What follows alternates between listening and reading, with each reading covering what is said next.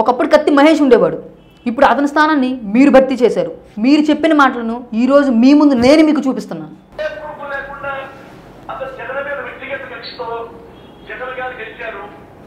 ఆయన cinema hero కాదు ఏమీ కాదు మామూలు ఉంటాడు ఆచార్యంగా ఉంటాడు పల్లెటూరులా ఉంటాడు రైతులా ఉంటాడు.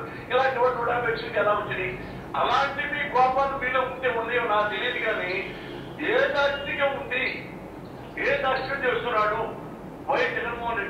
ఒక్కటి చెప్పండి ఒక్కటి. చెప్పండి చెప్పండి అన్నారు. ఎవిడెన్స్ ఎవిడెన్స్ అని విర్రవీగారు. ఈరోజు అదే ఎవిడెన్స్ గురించి నేను మీతో మాట్లాడుతున్నాను. ఎంతో ఉన్నత స్థాయిలో ఉన్నటువంటి మీరు అదే ఫిల్మ్ ఇండస్ట్రీకి సంబంధించి ఒక ఆడబిడ్డమైన అన్యాయంగా ఆరోపణలు చేశారు. మీకే కనుక నిజంగా ఒక ఆడబిడ్డ ఉంటే ఆ బిడ్డ పడే యొక్క క్షోభ మీకు అర్థమవుతుంది.